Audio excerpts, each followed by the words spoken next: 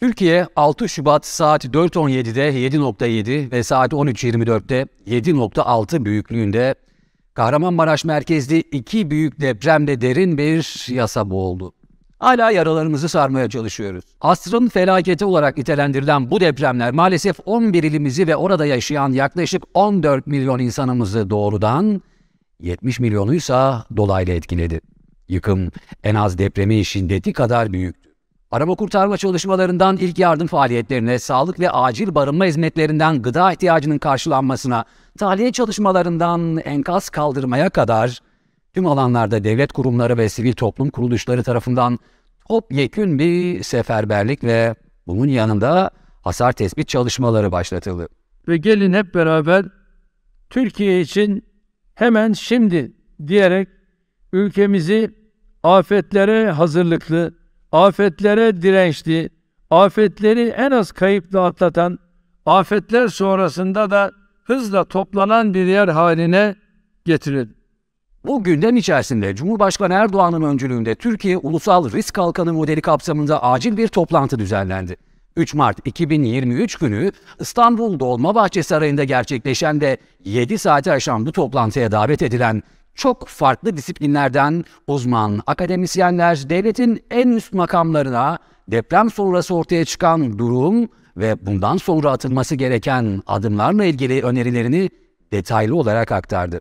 Gördüğünüz gibi yaklaşık 110 gerek siyasetçi gerek bilim adamları bir arada olduk. Ve bütün yapılan açıklamalar hepsi kayda alındı. Ve bu kayıtlar üzerinde çalışmamızı yapacağız. Cumhurbaşkanlığı nezdinde değerlendirilen ve önemsenen önerilerin hızla faaliyeti geçmesi, sürdürülebilirliği ve en üst düzeyde izlenilebilirliği açısından alınan en önemli karar, afet yönetimi politikaları ile ilgili bir kurulun oluşturulması oldu.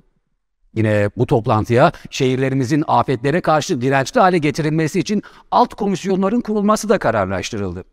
Zaman kaybetmek ve bilimsel bilginin sahadaki karşılığını bir an önce görmek için Dolmabahçe Sarayı'nda gerçekleşen toplantıdan tam bir hafta sonra 10 Mart'ta bu kez deprem bölgelerinden Gaziantep'te toplanan Türkiye Ulusal Kalkınma Modeli'nin ikinci toplantısı hedeflenen çalışmaların ele alınmasıyla gerçekleştirildi. Deprem dönüşümü, kentsel dönüşüm olmak üzere hem Marmara'da hem Ege'de hem ülkemizin 81 ilinde e, bu çalışmalara ilişkin bir vizyon ortaya koyacaklar. Neticede kurulda bulunan ve işin teorisine hakim akademisyenlerin sahadaki pratiğe hakim isimlerle beraber çalışması bilgi paylaşımı açısından önemliydi. Bu toplantıda tanışma ve görev bölüşümü aşamasına geçildiği gibi ortak kurulların çalışmaya başlaması da sağlanmış oldu. Toplantıların amaçları şehirlerimizi tarihiyle, kültürüyle, demografisiyle, sanayisiyle, altyapısıyla bir bütün olarak ayağa kaldırmak ve 11 ili yeniden inşa ederken başta deprem olmak üzere coğrafyamızın ve iklim krizinin sebep olabileceği sel, yangın gibi bütün afetlere karşı şehirlerimizi dirençli hale getirmek olarak açıklayan ve toplantının ev sahipliğini üstlenen Çevre Şehircilik ve İklim Değişikliği Bakanı Murat Kurum, bu işleri yapmak için bilim insanlarının desteklerine ve onların sahadaki çalışmalarına ihtiyaç duyduklarının altını çiziyor. Buradaki her şehrin kendine has kültürünü koruyacağız. Hatay'daki meclis binamızı, Hatay'daki Ulu, Ulu Camimizi, Hatay'daki Habibi Necar Camimizi, Hatay'daki demografik yapıyı, kültürel yapıyı koruyarak, Adıyaman'da e, Nemrut Dağı'nın hikayesini, Adıyaman'daki Ulu Cami'nin hikayesini, e, Kahramanmaraş'ta bin yıllık geçmişimizin hikayesini de e, tarihi ve kültürel mirasımızı korumak adına kurullarımız çalışacak ve tüm kurullarımıza da önerileri olacak ve bu öneriler doğrultusunda şehrimizin tüm tarihi kültürel zenginliklerini ecdadımızın e, aziz hatırasına sadık kalarak ihya sürecini yürüteceğiz. Bu ihtiyaç çerçevesinde davet edilen bilim insanları içinde inşaat, jeoloji, maden, çevre, endüstri, ziraat mühendisliği gibi alanlardan isimler olduğu gibi mimar, şehir bölge planlama, sosyoloji, psikoloji, tarih, iletişim uzmanlığı, sağlık, hukuk gibi birçok farklı disiplin alanından uzman isimler de toplantıda yer aldı. Haklı olarak herkes evinin, iş yerinin risk seviyesini ve yeniden kullanımıyla ilgili ortaya konulacak çözüm önerilerini merak ediyor.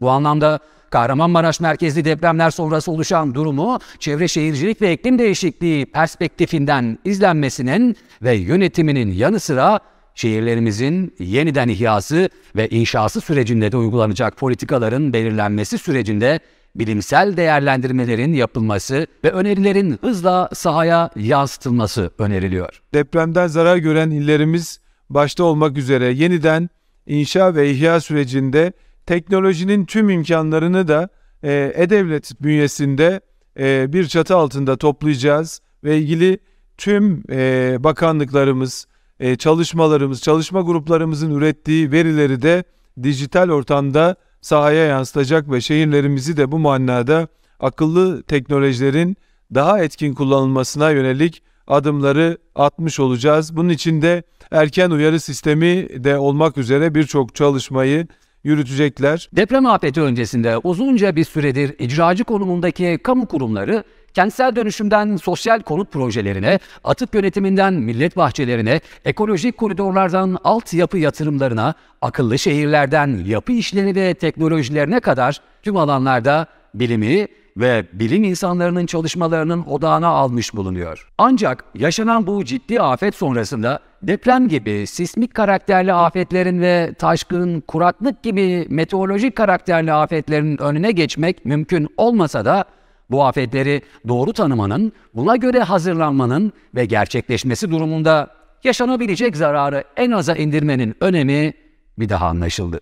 Bu amaçla bir araya gelen bu ekip risk kalkanı modeli başlığı altında ihtiyaç duyduğunda başka uzmanları da bünyesine katacak dinamik bir yapıda dizayn edildi. Öncelikle yaşanan afetten zarar gören 11 ilimizdeki afetzedelerin en kısa sürede sıcak yuvalarına kavuşmaları önceliğinde kamu akademi işbirliğinde yürütülecek çalışmalar ve bu kapsamda gerçekleştirilecek toplantılar büyük önem taşıyor. Sadece inşaat faaliyeti odaklı değil, aynı zamanda şehirlerimizin kendine özgü tarihiyle, kültürüyle, sosyolojisiyle değerlendirilmesi, buna uyumlu bir şekilde yeniden planlanıp ayağa kaldırılması ve ileriye yönelik ihya edilmesi de temel öncelik. Bu bölge özelinde gerçekleştirilecek uygulama başarısının ülke geneline yayılması da ayrı bir hedef olarak önümüzde duruyor. Toplantı sonrasında kendilerine ayrılan toplantı salonlarında bu kapsamda ilk kez bir araya gelen akademisyen ve bürokratlar kendilerine yüklenen sorumlulukların bilinciyle çalışmalarına başladı ve devam ediyor. İletişim grupları oluşturuldu. Çalışma programları belirlendi ve baştan sona atılacak tüm adımların belirlenmesi noktasında çalışmalar düzenlendi. Burada amaç yaşanabilecek doğal afetlerin karşısında Türkiye neler yapabilir? Doğal afetlere karşı nasıl önlemler alınabilir ve olası bir doğal afette ve sonrasında ilk müdahale nasıl yapılır? Nasıl bir çalışma planı sunulabilir? Özellikle deprem alanında fay hattının geçtiği noktalarda yeniden bir şehir inşası riskli olabilir. Bu yüzden bir takım programlar bu kapsamda ilerliyor. Fay hattının mesafesine göre evlerin inşası söz konusu olacak. Bu modelle şehirlerin afetlere karşı daha hazır ve dirençli hale getirilmesi planlanıyor.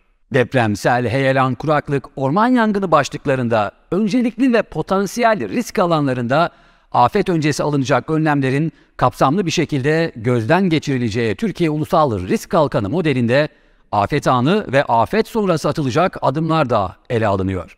Ulusal Risk Kalkanı modeli çalışmasına kendi alanında yetkin bilim insanları, ilgili kurumların teknik ekiplerinin yanı sıra yabancı uzmanlar da destek verecek. Modele göre enkaz ve atık yönetimi kurulunun amaçları şunlar. Afet bölgesinde özellikle yerleşim birimlerinde başta enkaz atıkları olmak üzere ortaya çıkan tıbbi, kompozit, metal, plastik ve diğer tüm atıkların çevresel hassasiyetler gözetilerek bertarafına yönelik yeni model ve yaklaşımların geliştirilmesi, Afet bölgesinde deprem sonrası ortaya çıkan enkaz ve diğer tüm atıkların yönetimi, ayrıştırılması, geri dönüşümüne tabi olanların kazandırılmasıyla doğaya ve insan sağlığına zararlı atıkların bertaraf edilmesi konularında sürecin yönetimine katkı sağlanması. Geçici yaşam alanlarında ortaya çıkan atıkların yönetimi konusunda gerekli politikaların geliştirilmesi ve belediyelere teknik destek sağlanması. İklim dostu Yeşil Dönüşüm Kurulu'nun amaçları da şunlar. Türkiye'nin ve şehirlerinin iklim dostu yeşil dönüşümü çalışmalarının deprem bölgesinde yeni şehircilik çalışmalarına entegre edilmesi. Sanayide yeşil dönüşüm politikalarının bölgede inşa edilecek sanayi yapılarına ve sanayi alanlarına uyarlanması. Yeni şehircilik çalışmalarında iklim değişikliğine uyum sağlanması amacıyla yenilenebilir enerji, temiz enerji, yağmur suyu hasadı, enerji verimliliği gibi doğa ve ekosistem temelli çözümler, mavi, gri, yeşil altyapı yatırımları konularında katkı sunması, yangınlar ve seller başta olmak üzere iklim krizine bağlı afetlere karşı engelleyici çözüm mekanizmalarının ve stratejilerinin geliştirilmesi, bu bilincin ve millete hizmet etmenin heyecanında oldukları ve tavırlarında açıkça görülen her bir kurul üyesi girişilen bu çalışmanın Türkiye'de risk ve afetlere karşı başarılı bir kalkan görevi göreceği noktasında ümit var. Şimdi sırada bu kurulların çalışmalarıyla ortaya çıkacak önerilerin sahadaki yansımalarını görmek var. Görüşmek üzere.